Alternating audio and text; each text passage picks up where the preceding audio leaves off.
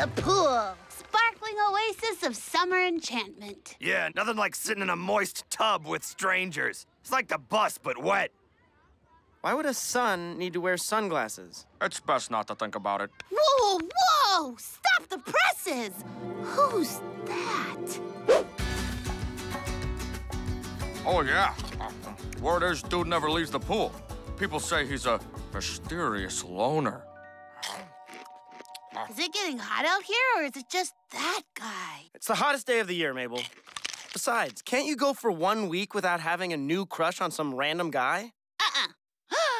Look at his little mustache hairs. You are clearly enamored. Go to him. Hey, come on! What is it, kid? Oops, sorry.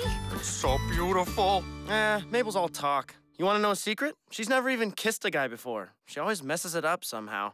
Oi, women. Hey, Mr. Pines. Wendy, where's the lifeguard? I am the lifeguard. I make the rules, sucker. Boosh! Ah, she's attacking me with water! Wow, you work here? I found out lifeguards get free snack privileges.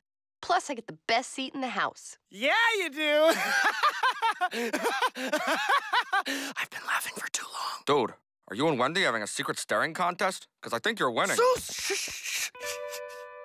so hey, you want to go chuck more water balloons at Uncle Stan? I'd love to, but I gotta spend the day doing tryouts. We're looking for a new assistant lifeguard.